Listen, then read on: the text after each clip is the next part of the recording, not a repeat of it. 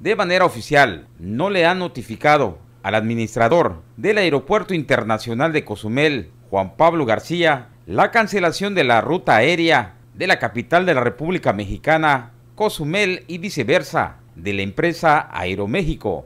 Tiene conocimiento que han dejado de vender boletos y en el mes de mayo ya no estará activa esa ruta. Eh, mira, no sé, formalmente, oficialmente yo no he recibido ninguna notificación por parte de, Aeroméxico.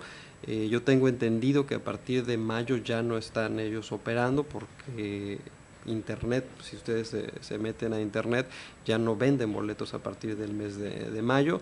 Sin embargo, yo oficialmente no he recibido ninguna notificación. Asimismo anunció que el 25 de junio iniciarán actividades el vuelo directo de Guadalajara Cozumel con dos frecuencias viernes y domingo que generará más turismo nacional al municipio.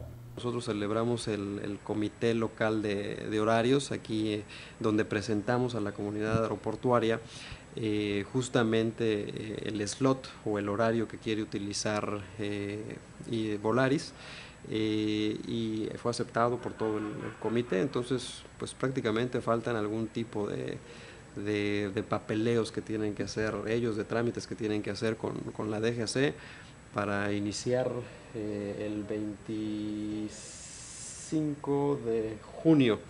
Eh, inicia con la primera frecuencia que es domingo y la tendrían ellos eh, prácticamente viernes y domingos. Para Canal 10, Jorgeku.